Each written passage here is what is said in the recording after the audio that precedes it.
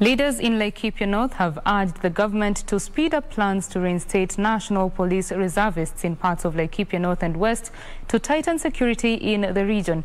The leaders said the recent spate of, of violence in the region has left five people dead and hundreds of others fearing for their lives.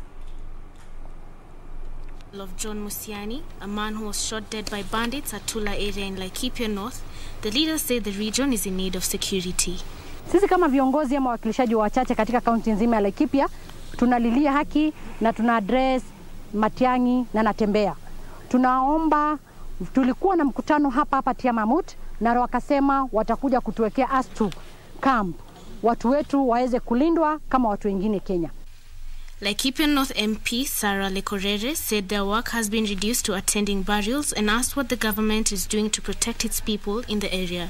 Kijana huyu aliweza kuuawa walipojaribu kumnyang'anya mali yake, na masikitiko makubwa sana ni kwamba mpaka leo hivi katika grupu la ya Tiamamut peke yake huyu ni mtu wa tano tunazika chini ya mwaka moja.